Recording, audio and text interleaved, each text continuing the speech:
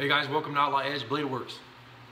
So uh, I was digging around in my library tonight, trying to get some more of that junk cleaned up.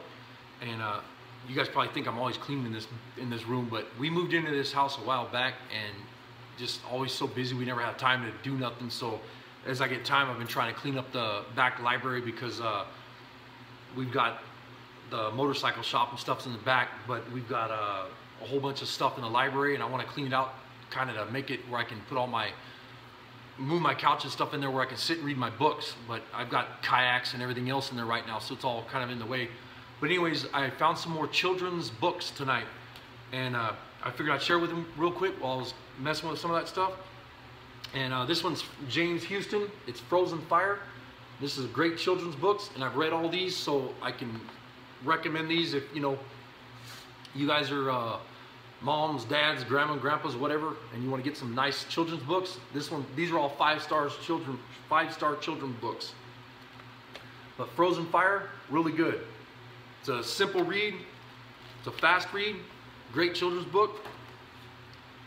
Um, I wish this one didn't have the sticker on it where you guys can see the name of it, but this is, uh, as far as I'm concerned, one of the best books ever written. And not, and I don't mean just children's books. I mean like adult books. I loved it. But this is Hatchet by Gary Paulsen. And uh, right here, the sticker's over the top of this. I wish I can get it off there without ripping all up.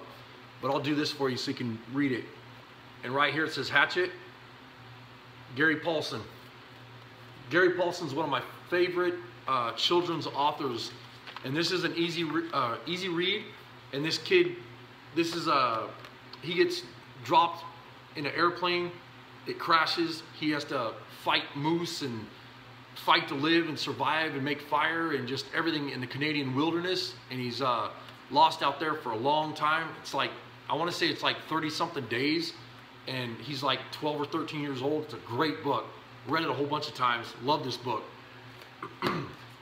this is another Gary Paulsen book. It's called The Fox Man. The Fox Man.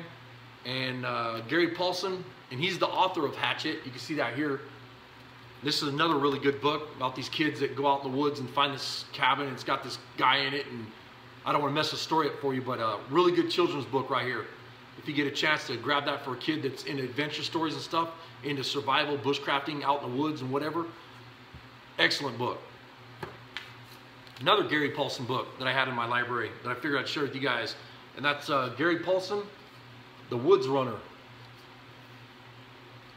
And this is a really cool book. I liked it. Um, there were some of the parts that I actually missed because I didn't get to read all of it, but the stuff that I did read, it was really good. I loved it. And it's a simple read for kids, and uh, it's one of those that you start reading it, you can't put it down. And I highly recommend it. I love this book. Really good for children, fun story. I think every kid should read this because this is an awesome book. The Swiss Family Robinson. And who, who does this book? uh, Joanne Weiss, I think is how you would say it. But uh, Swiss Family Robinson, that was one of them that I read about a hundred times in high school and grade school and all that. And I always remembered it. And then uh, years back, I got this book and read it again and still love the book. But this is a really good children's book. And this is for like an older child, probably 13, 14, something like that, if they like to read. Really good adventure story right here. And this is uh, this book here is called the Island Trilogy, and it's uh, it's an awesome book for kids, and it has a whole bunch of different stories in it, and and it's it's supposed to be three books, but it actually has a lot of other things in there, other little stories, little like mini stories in between that. And it's uh, book one, shipwreck, book two, survival, book three, escape, and uh, you can see that on the back there. And it's uh, these kids here, and they get lost out on an island and they're shipwrecked and I don't want to ruin the story for you, but all the stuff that they go through trying to live out there and fighting and arguing and cussing and spitting and screaming and just everything that happens out there and uh, trying to find food and how to make fire and everything. It's really cool and kids will love this because this is a good adventure book right here. And it's a really big book, but it's a pretty easy read, pretty fast read. I've read it and uh, I liked it. It was a cool book, five star right here.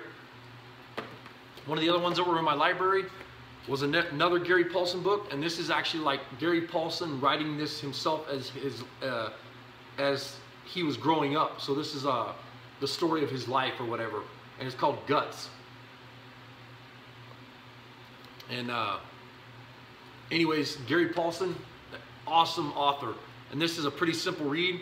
And this is probably like a, a book for like a 13, 14, 15 year old kid or whatever, older. And uh, even as an adult, I read it and I loved it.